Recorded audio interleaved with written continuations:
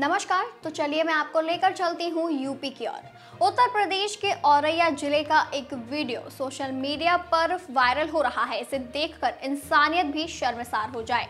चोरी के शक में एक नाबालिग दलित बच्चे को कुछ युवकों ने बंधक बनाकर पीटा। दबंगों ने बेरहमी से पिटाई करते हुए नाबालिग बच्चे का तालिबानी सजा दे डाली। बता दें कि बच्चे को रस्सी से हाथ पैर बाँध कर उससे जमकर पीटा गया।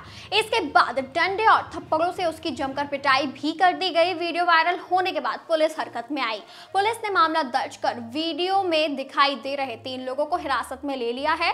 दलित नाबालिग बच्चे को बंधक बनाकर पीटने का मामला फफुंद थाना क्षेत्र के मोहल्ला जोगियान का है, जहाँ धर्म विशेष की बाहुल्य बस्ती है। कई लोगों ने नाबालिग दलित बच्चे को चोरी के आरोप में पकड़कर हाथ पैर रस्सी से बांधकर थप्पड़ और डंडे से मारपीट की। वायरल वीडियो में साफ़ साफ़ देखा जा सकता है कि जिस स्थान पर बच्चे को पीटा जा रहा है, उसी स्थान पर कई लोग तमाशबीन बने देख रहे हैं, लेकिन उसकी किसी ने भी मदद नहीं की। वहीं महिलाएँ भी है, इस घटना को देखकर रोकने की ज़रूरत नहीं समझी। कानपुर पुलिस की गिरफ्त में एक साइकिल चोर आया है। जी हाँ यह चोर बाज़ार में खड़ी साइकिलों को चुराता था। पुलिस ने चोर के खिलाफ कड़ा एक्शन लिया है। पिछले दिनों कानपुर में एक कार चोरी के मामले में मुकदमा न दर्ज करने पर हाईकोर्ट ने एक्शन लिया था। इलाहाबाद हाई कोर्ट ने कानपुर के पुलिस कमिश्नर आर के स्वर्णकार को ही तलब कर लिया। बता दें कि बीते दो दिन पहले कानपुर कमिश्नर स्वर्णकार ने कोर्ट में पेश होकर अपनी सफ़ाई देते हुए मामले में गलती गलती सुधारी, साथ ही दोषी थानेदार पर भी मुकदमा दर्ज करने का आदेश कर दिया है। इसके बाद तत्काल प्रभाव से कार चोरी की रिपोर्ट लिखी गई। हाई कोर्ट के इस हंटर के बाद कानपुर पुलिस कमिश्नरेट अब बाइक चोरी क्या साइकिल चोरी की भी रिपोर्ट दर्ज करने में लगी हुई है। वैसे तो अपराध के कम आंकड़े देखने के चक्कर में ज़्यादातर मामलों में पीड़ितों को टरका दिया जाता है। बीते दिनों कार चोरी के मामले में कमिश्नर को कोर्ट में ले जाने वाले वकील ने यह साबित कर दिया है कि देश में कानून ही सर्वोपरि है। वहीं बात करें हाथरस की तो हाथरस में 150 फीट गहरे बोरवेल में बकरी का बच्चा गिर गया। जी हाँ आपको बता दें जिसको बचाने के लिए पिछले चार दिन से रेस्क्यू ऑपरेशन चलाया जा रहा है। बकरी का बच्चा 35 फीट की गहराई में जाकर अटक गया है। इस रेस्क्यू ऑपरेशन में चार जेसीबी मशीनें लगाई गई है और एक पोक लेन मशीन भी काम कर रही है।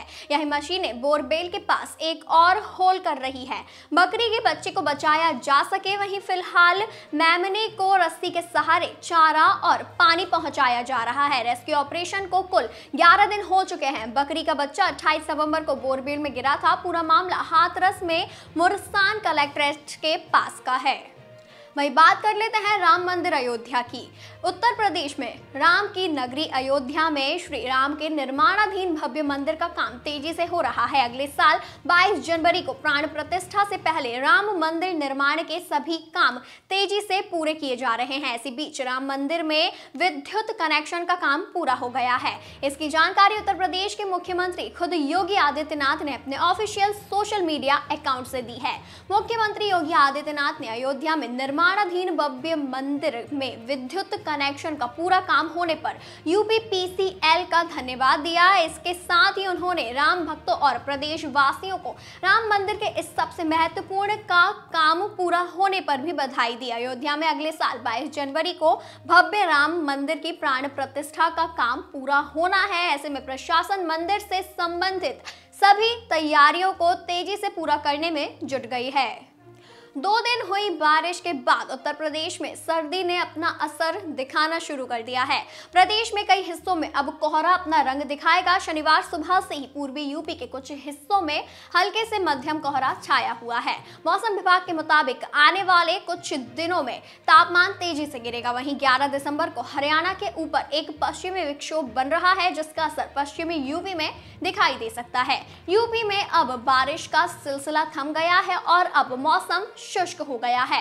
मौसम विभाग के मुताबिक अगले पाँच दिन तक मौसम शुष्क ही रहने का अनुमान जताया गया है, लेकिन पूरे प्रदेश में एक और दो स्थानों पर हल्के से मध्यम कोहरा छाए रहने की भी संभावना है। तो ये थी हमारी आज की कुछ खास खबरें, और भी खास जानकारी के लिए लगातार देखते रहिए डीवी न्यूज़